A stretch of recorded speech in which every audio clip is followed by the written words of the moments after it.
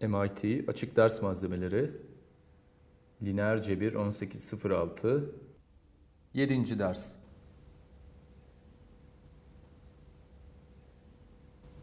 Pekala. İşte doğrusal cebirin 7. dersi. Vektör uzayları ve özellikle bir matrisin sıfır uzayı ve sütun uzayı hakkında konuşmaktayım. Bu uzaylarda neler var? Şimdi onları tanımlayacağım. Bu uzaylarda bulunan bütün vektörleri nasıl tanımlayacaksınız? Bunları nasıl hesaplayacaksınız? İşte bu e, bir fikri, bir tanımı algoritma haline dönüştürmektir.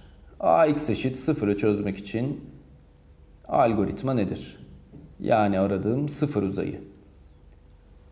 O halde belirli bir A matris alalım ve genel algoritmayı anlatalım. Ve bunu bu matrise uygulayalım. Hadi başlayalım. Örnek olarak bu matrisi alalım. Bu bölümde kesinlikle dikdörtgensel matrislerle uğraşıyoruz. A'nın indirgenmiş satıra göre basamaklı biçimi. Elimde 4 sütun var ve 3 satır var. 2, 4, 6, 8 ve 3, 6, 8, 10. Pekala. Sütunlara ve satırlara baktığımda hemen şunu görüyorum. Sütun 2, sütun 1'in bir katı, sütun 1 ile aynı doğrultuda, bağımsız değil. Bunu işlemlerde ortaya çıkarmayı ümit ediyorum. Aslında satırlarda dikkat ederseniz bu satır ve şu satır toplandığında üçüncü satırı veriyor. Yani üçüncü satır bağımsız değil. Yani bütün bunlar yok etme yöntemini uygularken ortaya çıkmalılar. O halde durum nedir? Algoritmam yok etme yöntemi olacak. Ancak şimdi dikdörtgensel durumuna genişleteceğiz. Ama pivot pozisyonunda sıfır olsa bile devam edeceğiz. Pekala. Matris için yok etme yöntemini uygulayalım. Amacım yok etmeyi uygularken sıfır uzayını değiştirmemek. Bu çok mühim değil mi?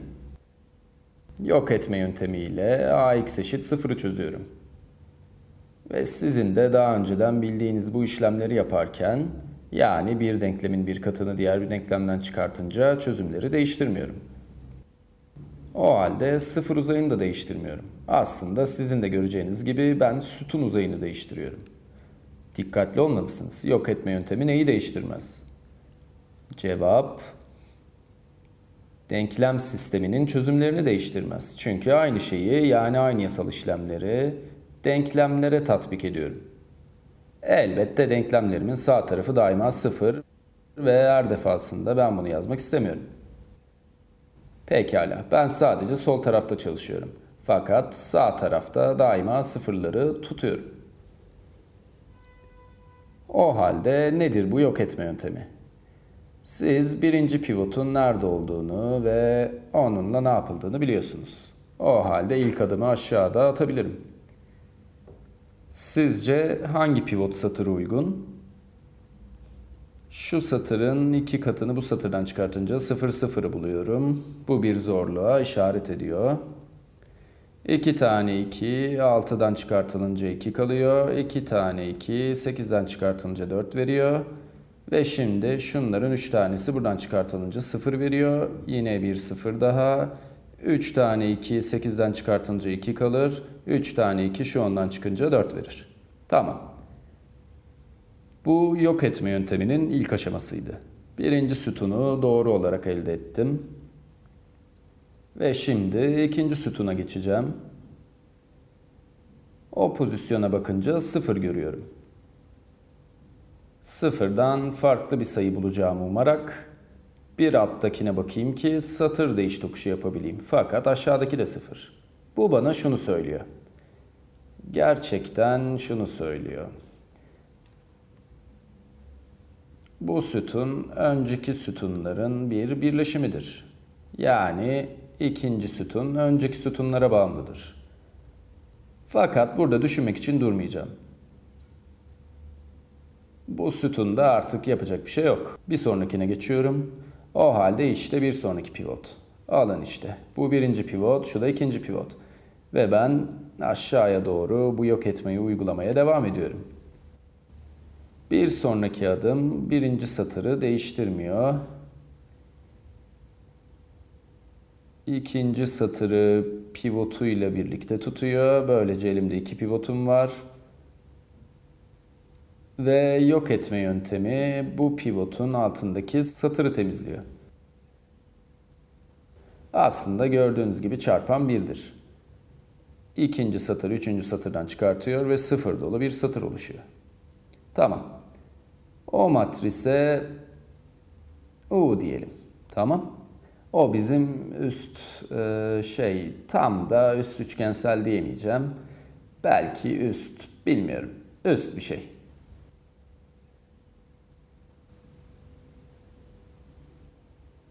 Bu haliyle basamak biçiminde olduğu söylenir. Echelon kelimesinin anlamı basamaklı biçim gibi. Sıfır olmayanlar basamak şeklinde oluşuyorlar. Burada başka bir pivot olsaydı bu durumda basamak biçimi bunu içerirdi. Fakat bizim bu durumumuzda sadece iki tane pivotumuz var. Tamam. Bu durumda biz bu matris hakkında en önemli sayıyı keşfetmiş olduk.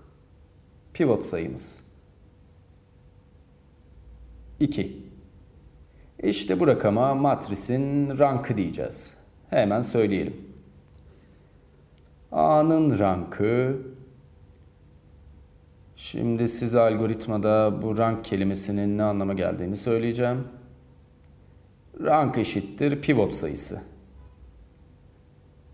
Ve bu durumda rank 2'ye eşit. Tamam. İşte bu iki rakamı benim için çok önemli. Pekala şimdi şuna başlıyorum. Hatırlıyorsunuz ben daima ax eşit 0'ı çözüyorum. Fakat şimdi o x eşit 0'da çözebilirim değil mi? Aynı çözüm, aynı sıfır uzayı. Tamam.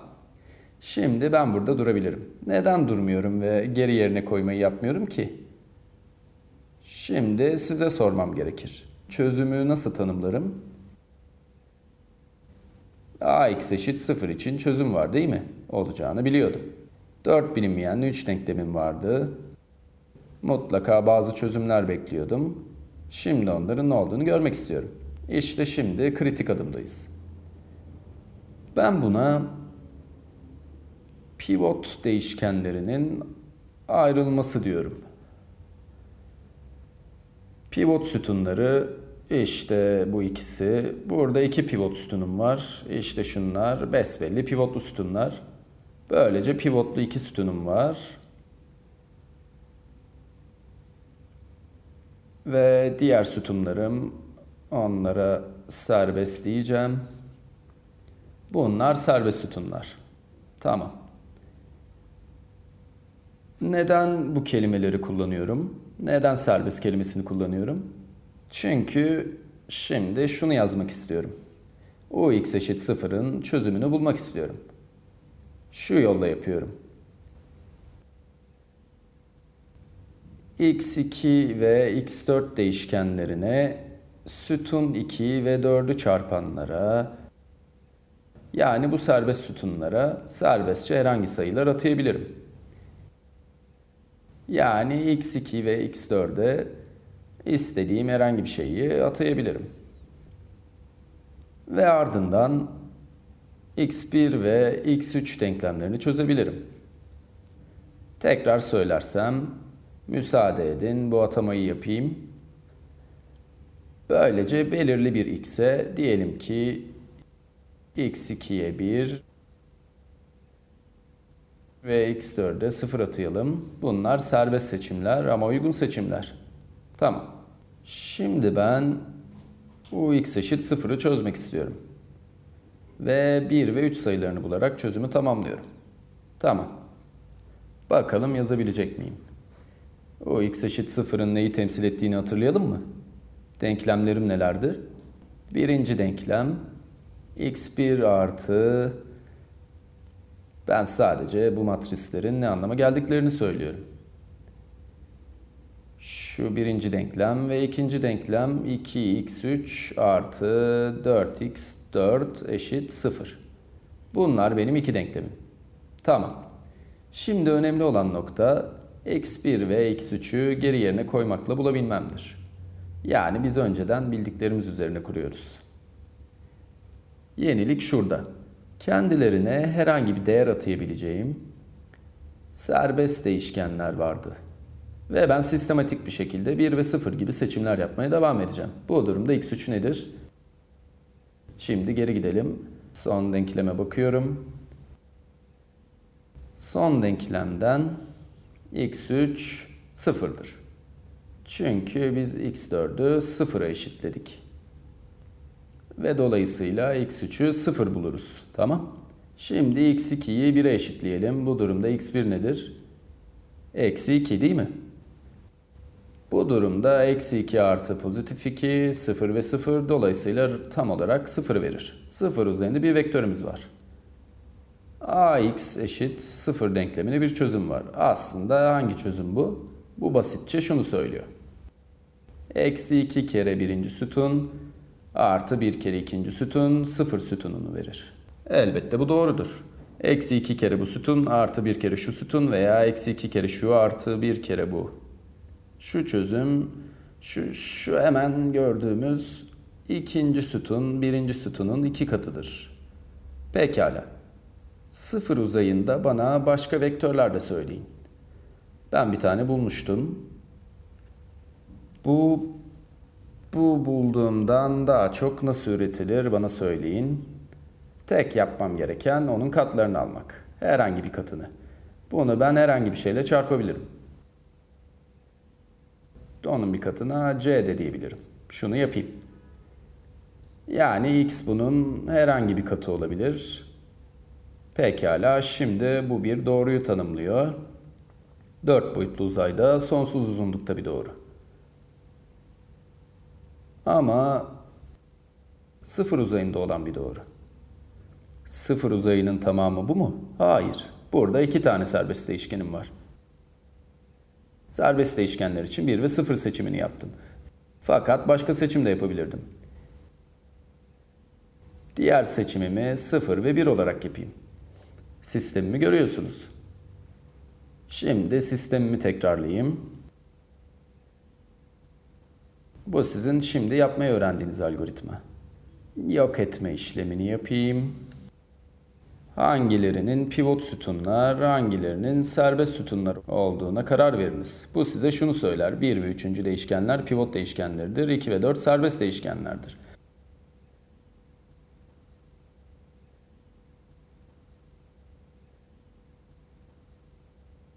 Ardından siz birisine 1, diğerine 0 atıyorsunuz.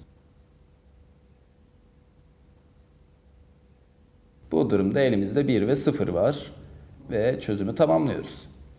O halde şu çözümü tamamlayalım. Sıfır uzayında şundan tamamen farklı bir vektör arıyorum. Çünkü o sıfırın herhangi bir çarpımı bana biri veremez. Yani sıfır uzayında yeni bir vektörüm var. Durun onu bulayım. x3 burada ne yapıyor? Geride dönüp yerine koyarak devam edelim. Şu denkleme bakalım. Şimdi x4'ü değiştirdik. Burada x2 0 ve x4'ü 1 alarak başka olasılıkları yapıyoruz. Bu durumda x3 eksi 2 olacaktır. Ve şimdi birinci denklem için ne buluruz? x1 bakalım 2 kere x3 eşittir eksi 4 artı 2. Şurada 2 buluyor muyum? Evet. Belki. x1 için 2 eksi 4 ve 2 Tamam. İşte bu sıfır uzayı. Bu sütunlar hakkında neler söylüyor? Şunu söylüyor. İki kere bu sütun eksi iki kere şu sütun artı bu sütun sıfır veriyor. Aynen iki kere şu sütun eksi iki kere bu sütun artı bir kere bu sütun sıfır veriyor. Tamam.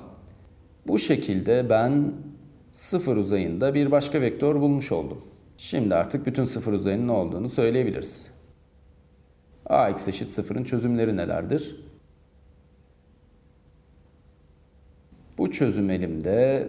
Bunun yanında sıfır uzayında başka kimler var? Bunlar benim özel iki çözümüm. Özel çözümler. Bu ifadeyi kendim keşfettim. Bunların özel olmalarının nedeni serbest değişkenlere sıfır ve bir özel sayılarını atamış olmamdandır. Serbest değişkenlere herhangi başka değerler vererek de sıfır uzayında vektörler bulabilirim. Fakat bu özel yöntem herkesi bulabilmem için emin bir yoldur. Tamam, bir tanesi varsa onun katları da var değil mi? Yani o vektörün herhangi bir katı da sıfır uzayındadır. Ve şimdi başka ne? Sizce şurada küçük bir yeri niye bıraktım? Ne? Artı işareti için herhangi bir bileşim alabilirim. İşte size sıfır uzayında bir vektörler doğrusu. Bir çözümler demeti. Sıfır uzayındayım mı demek istersiniz? Yoksa ax eşit sıfırı çözüyorum mu demek istersiniz? Aslında gerçekte ben ux eşit sıfırı çözüyorum. Pekala. Gelin şimdi o çok önemli artı işaretini koyalım. İki özel çözümün bütün bileşimlerini alıyorum. İşte benim sonucum. Sıfır uzayı tam olarak özel çözümlerin bütün bileşimlerini içerir. Ve kaç tane özel çözüm var? Her bir serbest değişken için bir tane var. Ve kaç tane serbest değişkenimiz var? Şu an büyük resmi görebiliriz. Rank 2 ise ki bu pivotların sayısıdır. Değil mi? Çünkü rank pivotları sayar. Bu durumda kaç tane serbest değişken var? Biliyorsunuz iki tane değil mi?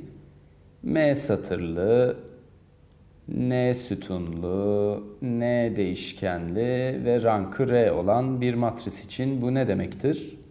Geriye kaç tane serbest değişken kaldı? Eğer R tanesi pivot değişkeni ise geriye N eksi R kadar yani bu durumda 4 eksi 2 2 serbest değişken kalır.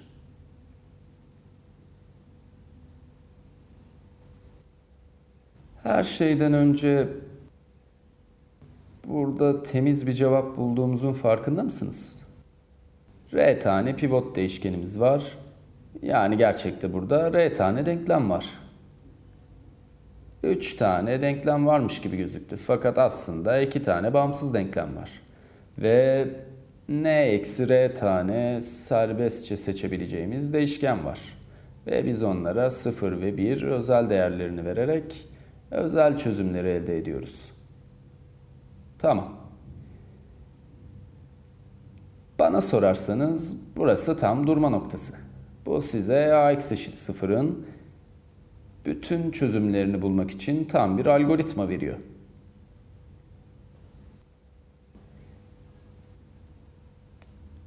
Tekrar edersek yok etme yapıyorsunuz. Bir sütunda yapılacak bir şeyiniz yoksa devam ediyorsunuz. R rakamı var ve pivotların sayısı çok önemli bir sayı ve o bize n eksi r tane serbest değişken veriyor. Ve biz o değişkenleri 0 ve 1 atıyoruz. Bir adım daha ileri gitmek istiyorum. Bu matrisi daha da çok temizlemek istiyorum. Bu matris şu an basamak biçiminde, üst üçgensel biçimde de diyebilirsiniz. Mümkün olabilecek en iyi hale getirebilmek için bir adım daha atacağım. Tamam. Şimdi indirgenmiş satıra göre basamaklı biçimden bahsetmek istiyorum.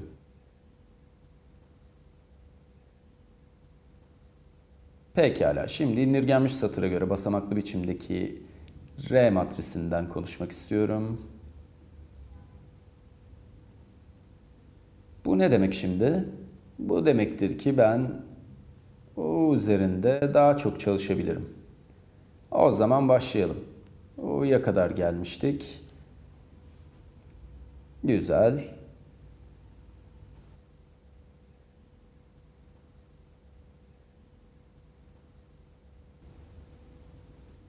Şu sıfır dolu satıra dikkat edelim. Bunun üzerine yorum yapmadım ama yapmalıydım. Burada gördüğünüz sıfırlar satırı üçüncü satırın 1 ve 2'nin bileşimi olduğundan yok etme yöntemi bunu keşfetti. Sıfır dolu bir satırımız olduğunda bu bizim asıl satırımızın bir bileşim olduğunu gösterir. Ve yok etme yöntemi bunu devre dışı bırakır. Buraya kadar geldik. Daha çok temizlik nasıl yapabilirim? Yukarı doğru yok etme yapabilirim. Pivotların üst bölümlerini sıfırlayabilirim. Bu şekildeki satıra göre indirgenmiş basamaklı biçiminde pivotların altında ve üstünde sıfırlar olur.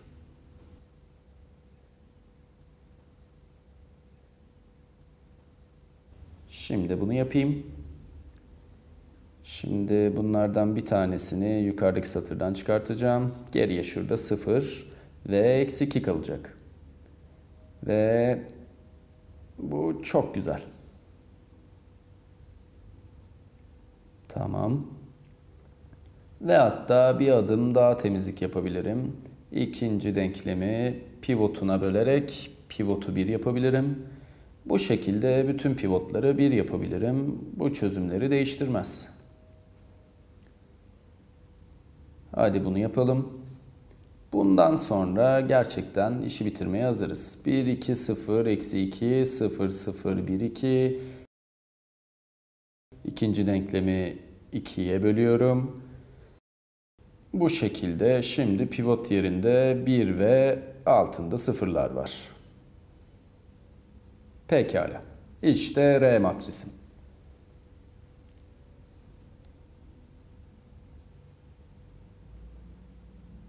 Artık şimdi bütün algoritmayı çalıştırabileceğinize inanıyorum.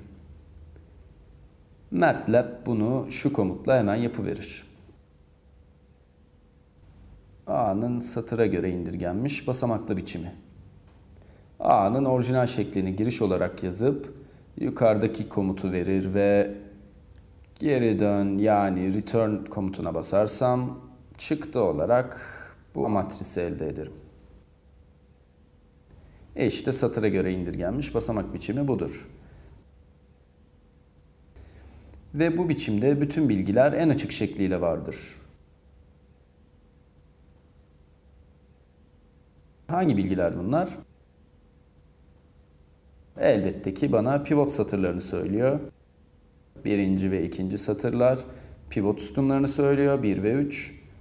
Aslında içinde birim matris de var değil mi? Pivotların altında ve üstünde sıfırlar var. Ve pivotların hepsi birler. Ne güzel değil mi?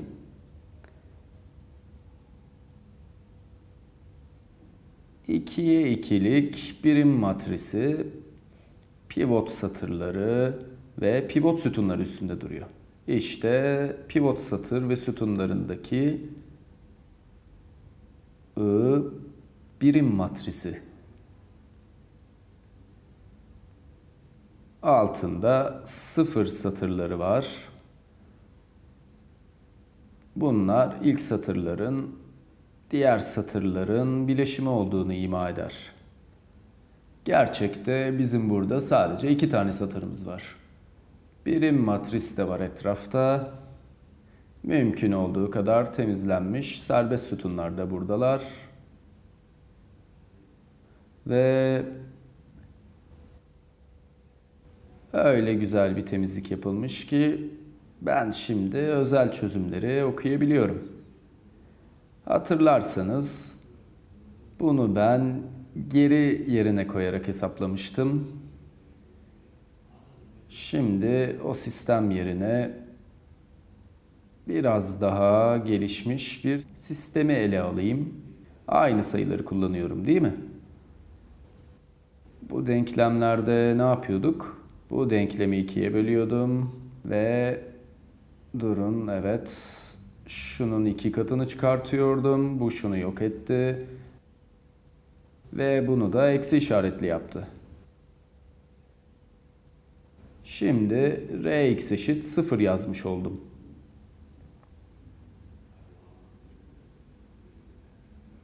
Umarım bu sınıftaki herkes ax eşit 0'ın ara yerde, orta yerde, ux eşit 0'ın ve nihayet rx eşit 0'ın çözümlerinin aynı olduğunu anlamış bulunuyor. Çünkü birisinden diğerine geçerken işleri karıştırmadım. Sadece denklemleri sabit sayılarla çarptım ve diğer denklemlerden çıkarttım. Bunları yapma hakkım var. Tamam. Önemli olan nokta şu. Serbest değişkenleri aldığımda ve geri yerine koymaları yaptığımda elde ettiğim sayılar işte bunlar. Burada ben x2'yi 1 ve x4'ü 0 yapıyorum. Sanırım burada ne görüyorum? Burada bunu bir şekilde parçalayayım. Pivot sütunundaki pivota bakarsam şunları görüyorum. Ve serbest sütunlarda neler görüyorum? Birinci serbest sütunda x2 sütununda 2 ve 0. Diğer serbest sütunda yani dördüncü sütunda eksi 2 ve 2 görüyorum.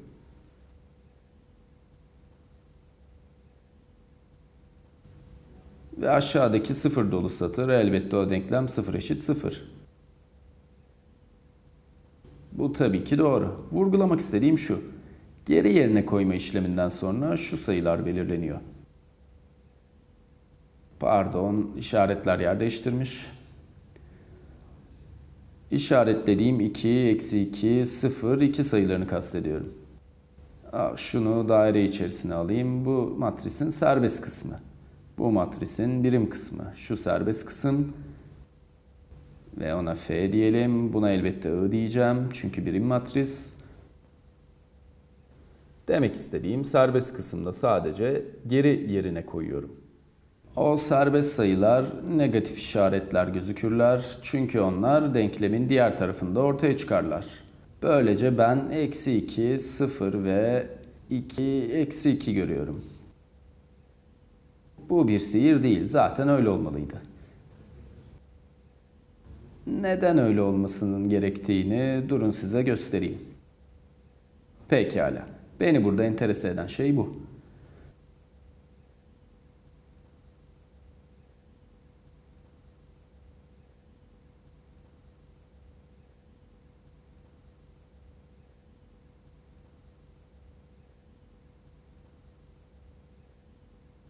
Müsaade edin diyelim ki bu sistem şu formda. R matrisim nasıl bir şey? Pekala. Pivot sütunları ilk önce geliyorlarmış gibi kabul edeceğim. Ve ardından serbest sütunlarda ne gelirse gelsin fark etmez. Ve aşağılarda bazı sıfır satırlarda olabilir. E işte size tipik güzel bir satıra göre indirgenmiş basamaklı biçim. Tipik olan nedir görüyorsunuz. Şu R'ye R matrisi. Bunlar R tane pivot satırları. Şunlar R tane pivot sütunları. Bunlar da N eksi R tane serbest sütunlar. Tamam.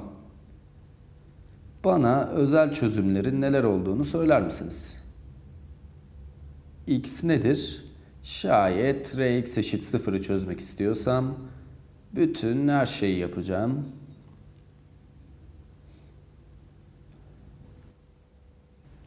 Bu bir blok matris. Bütün özel çözümleri bir anda yapmam iyi olur. Yani ben Rx eşit sıfırı çözerek özel çözümler elde edeceğim. Gerçekten onları bir anda elde edebilir miyim? Bir sıfır uzay matrisi yaratacağım. Tamam. Bir matris.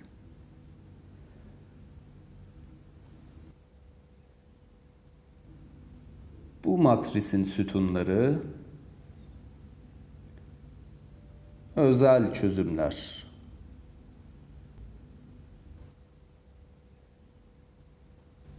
Zormuş gibi söylüyorum ama aslında çok kolay olacak. Bu sıfır uzay matrisi ne olsun? Rn matrisinin sıfır olmasını istiyorum. N'nin sütunlarının R ile çarpılıp sıfır vermesi beklenir. Hangi N bu işi yapar? Serbest değişken kısmına birim matrisi koyacağım. Ve şu örnekte olduğu gibi eksi f pivot değişkenlerinde gözükecek.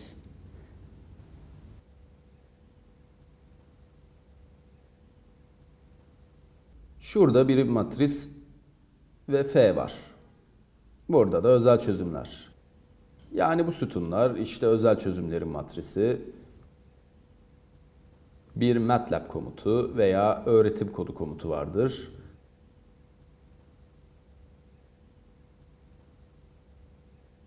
Null yani n eşittir. Bu sıfır tabanını yani sıfır alanı matrisini verir. Ve işte buyurun. Ve o null komutu nasıl çalışıyor? R'yi hesaplamak için MATLAB kullanıyor. Sonra pivot değişkenlerini serbest değişkenleri yakalıyor. Serbest değişkenler için 0 ve 1'ler kullanıyor. Ve pivot değişkenlerini kopyalıyor. Geri yerine koyma metodunu kullanıyor. Fakat bu sistem için geri yerine koyma gayet basit. Bu sistem nedir? Rx eşit 0 R F'dir. Ve X bir pivot değişkenidir. Ve serbest değişken ve bunların sıfır vermesi beklenir. Şimdi bu ne anlama geliyor? Bu şu demek oluyor. Pivot değişkenleri artı f kere serbest değişkenler sıfır verir. O halde f kere serbest değişkenleri diğer tarafa geçireyim. Eksi f kere serbest değişkenler bulurum. E işte en basit haliyle denklemim burada. Sistemi en iyi duruma indirgemek için arka arka yapılan indirgemeler geri yerine koymaya tekabül eder. Tamam. Ve ardından serbest değişkenler için özel birim matrisini seçersem bu durumda pivot değişkenleri eksi f olur. Tamam. Bir başka örnek yapabilir miyim? Ee, siz başka bir örnek yapabilir misiniz? Başka bir matris alayım ve bu algoritmayı tekrar tatbik edeyim. Tamam. İşte başlıyoruz. Bir başka matris için işte yeni bir kara tahta. Tamam. Matrise A diyelim. Bu defasında matrisi ne kadar büyük alayım? Neden şunu yapmayalım ki? Şu A matrisinin devriğini alalım ve bakalım ona ne olacak. 2, 4, 6, 8 ve 3, 6, 8, 10. Hesaplara başlamadan önce neler olacağını bana söyler misiniz? Burada kaç tane pivot değişkenleri bekliyorsunuz? Kaç tane sütunun pivotları olacak? Şu matriste 3 tane sütun var. Bizim 3 pivotumuz olacak mı? Hayır. Çünkü üçüncü sütun ilk iki sütunun toplamıdır. Bütün kalbimle şu ikisinin pivot sütunları olmasını bekliyorum. Çünkü onlar bağımsızlar. Fakat şu üçüncü sütun ilk iki sütuna bağımlı olup serbest sütun olacak. Yok etme metodu bunu yakalasa iyi olur. Ve yok etme metodu bağımlı ve bazı bağımsız olan satırları da bir düzene koyacaktır. Bu matris için indirgenmiş basamaklı satır biçimi nedir? Gelin onu yapalım. Tamam. O halde şu ilk pivot, şundan bunun iki katını çıkarırsak bir sıfır satırı bulurum. Şundan bunun iki katını çıkarırsak bu bana 0, 2, 2 verir. Ve şundan bunun iki katını çıkartırsak bu bana 0, 4, 4 verir. Tamam. Birinci sütun düzgün. Birinci değişken pivot değişkeni problem yok. İkinci sütunda ikinci pivota bakıyorum. O 0. Altına bakıyorum. Orada 2 var. Tamam. Satır değiş tokuşu yapıyorum. Bu durumda bu 0 şimdi orada. Şimdi mükemmel bir pivotum var ve onu kullanacağım. Pekala bu satırdan şu satırın iki katını çıkarıyorum. Böyle yaparsam olur mu? Şimdi artık U formuna eriştim. Bu benim A matrisimdi. Ve şimdi bu benim U matrisim. Artık durmam gerektiğini görebiliyorum değil mi? Üçüncü sütuna geçebilirim. Bunu denemeliydim. Fakat denemeden bu işten vazgeçiyorum. Şunu yapmalıydım. Üçüncü sütundaki pivot yerine bakalım. İçinde bir sıfır var. Altındakilerin hepsi sıfır. Şimdi durabilirim. Pekala. Rank yine 2.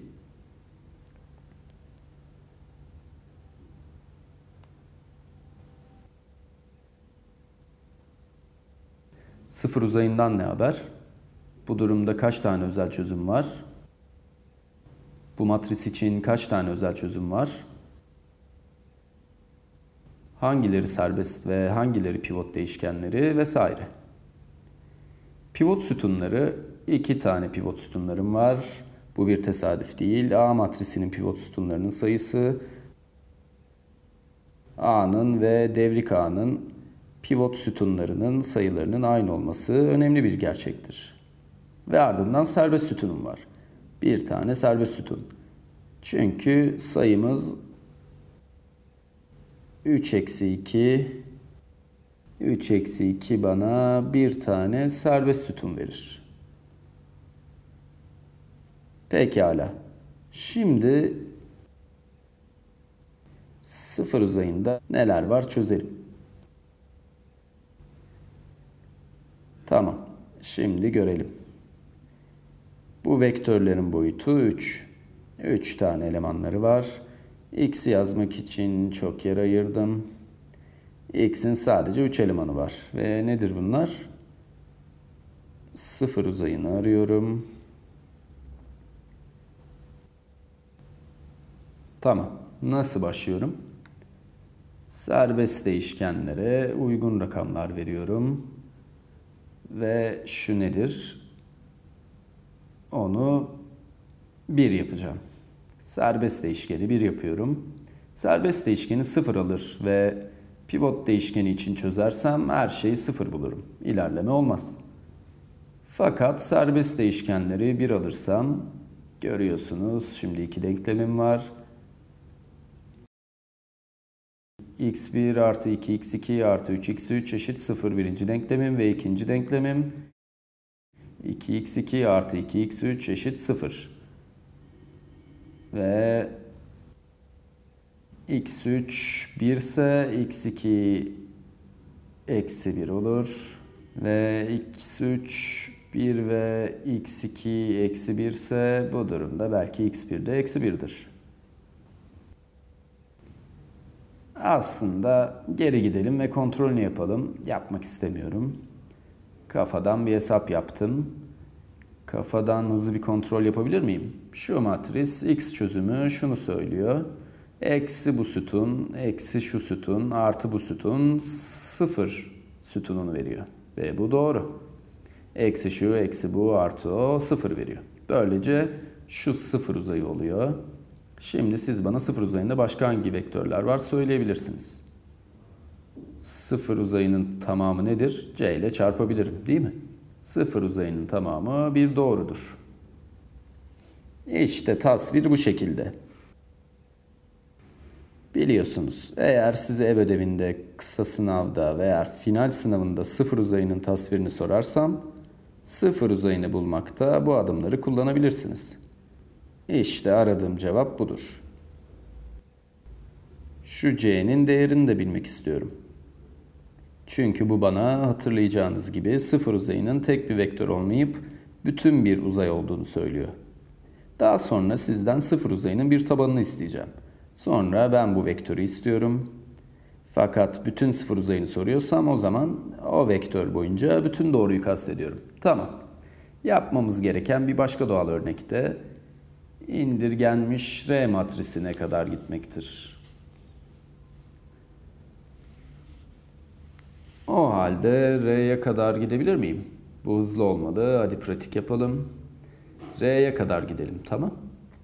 Şimdi burada ne yapıyorum? Pivotun üstünü temizlemek için şundan bunu çıkartıyorum. Şu 1 0 1 soldadır değil mi? Şu sütundan bunu çıkartırsam pivotun üstünde 0 oluşuyor. Ve şimdi şu pivotun 1 olmasını istiyorum. Dolayısıyla R matrisi için bu denklemi 2'ye böleceğim. Ve elbette şu sıfır, sıfırlar şahane, onlar değişmezler. İşte bu R, bu R'dir. R'nin ne olduğunu görüyor musunuz? Şuradaki birim matrisi görüyorsunuz. Serbest kısım F'yi görüyorsunuz. F kısmı işte burada. Ve alt taraflarda sıfırları görüyorsunuz. Bu I, F, 0, 0 ve şu X nedir?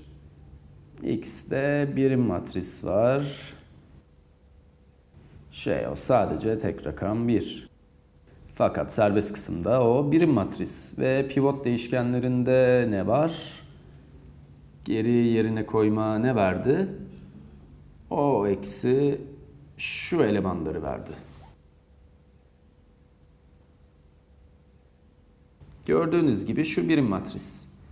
Ve buradaki de eksi f. Bu da bizim sıfır uzayımız için n matrisi. Sıfır uzayımızın sütunları özel çözümler olan matristir. Onların serbest değişkenleri bir özel değerine sahiptir ve pivot değişkenlerinin değeri eksi f'dir.